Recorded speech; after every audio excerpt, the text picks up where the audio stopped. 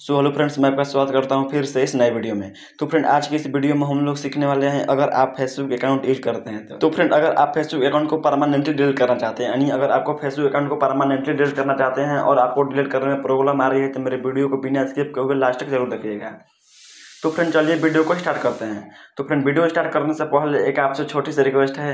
अभी तक हमारे चैनल पर नए हैं तो चैनल को सब्सक्राइब कर दो बेल आइकन को प्रेस कर दें। तो फ्रेंड चलिए वीडियो को स्टार्ट करते हैं। तो फ्रेंड सबसे पहले आपको फेसबुक ओपन कर लेना है। ओपन करने के बाद आपको भी कुछ इस तरह का इंटरफेस देखने को मिलेगा। तो फ्रेंड आपके यहाँ से टॉप कॉर्नर में थ्री लाइन का ऑप्शन देखने को मिलेगा। आपको यहाँ से थ्री लाइन वाले ऑप्शन पर क्लिक करना है। तो जैसे आप थ्री लाइन वाले ऑप्शन पर क्लिक करते हैं तो कुछ इस तरह का इंटरफेस देखने को मिलेगा। तो फ्रेंड आपके यहाँ से यहीं पर आपको सेटिंग का ऑप्शन देने को मिलेगा। आपको यहाँ से सेटिंग वाले ऑप्शन पर क्लिक करना है। आपको इस ऑप्शन पर क्लिक करना है। जैसे आप इस ऑप्शन पर क्लिक करते हैं तो कुछ इस तरह का इंटरफेस देने को मिलेगा। तो फिर आपके यहाँ से बहुत सारे ऑप्शन हो जाएगा तो आपको एक ऑप्शन देने को मिलेगा पर्सनल एंड अकाउंट इन्फॉर्मेशन का। यानी आपको फ़र्स्ट नंबर वाले ऑप्शन पर क्लिक करना है। तो जैसे आप इस पर क्लिक करते हैं तो कुछ इस तरह का इंटरफेस देखने को मिलेगा। तो फ्रेंड आपके यहाँ से चार ऑप्शन हो जाएगा तो आपके लास्ट में एक ऑप्शन देने को मिलेगा अकाउंट ओनरशिप एंड कंट्रोल आपको इस ऑप्शन पर क्लिक करना है।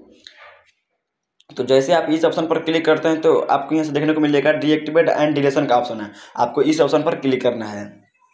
क्लिक करने के बाद आपके यहाँ दो ऑप्शन देखने को मिलेगा।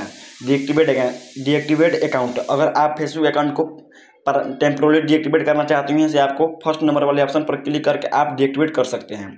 तो दोस्तों, अगर आपको डिलीट करना है, यानी अगर आपको फेसबुक अकाउंट परमानेंटली डिलीट करना है तो यहाँ से आपको डिलीट अकाउंट वाले ऑप्शन पर क्लिक करना है। इस पर क्लिक करने के बाद आप यहाँ से कंटिन्यू टू अकाउंट डिलीशन का ऑप्शन देखने को मिलेगा। आपको इस ऑप्शन पर क्लिक करना है। इस ऑप्शन पर क्लिक करने के बाद फेसबुक अकाउंट डिलीट करने का कोई आपको यहाँ से रीजन सेलेक्ट कर लेना है। यानी फेसबुक अकाउंट परमानेंटली डिलीट करने के लिए कोई आपको यहाँ से रीजन सेलेक्ट कर लेना है। तो आप देख सकते हैं रीजन सेलेक्ट करने के बाद आपको यहाँ से कंटिन्यू टू अकाउंट डिलीशन का ऑप्शन देखने को मिलेगा। फिर से दोबारा आपको क्लिक करना है। क्लिक करने के बाद आपको यहाँ से कुछ इस तरह का इंटरफेस देखने को मिलेगा। नीचे की तरह स्क्रॉल डाउन कर लेना है। इस पर क्लिक करने के बाद आपके साथ डिलीट अकाउंट का ऑप्शन को मिलेगा। आपके साथ डिलीट अकाउंट वाले ऑप्शन पर क्लिक करना है। इस पर क्लिक करने के बाद आपके साथ इंटर पासवर्ड, जो भी आपका फेसबुक अकाउंट का पासवर्ड है से आप पासवर्ड सेलेक्ट कर लेना है। तो जैसे आप दोस्तों तो दोस्तों, जैसे आप पासवर्ड डालते हैं, यानी पासवर्ड सेलेक्ट करते हैं, सेलेक्ट करने के बाद आपके से कंटिन्यू वाले ऑप्शन पर क्लिक करते हैं।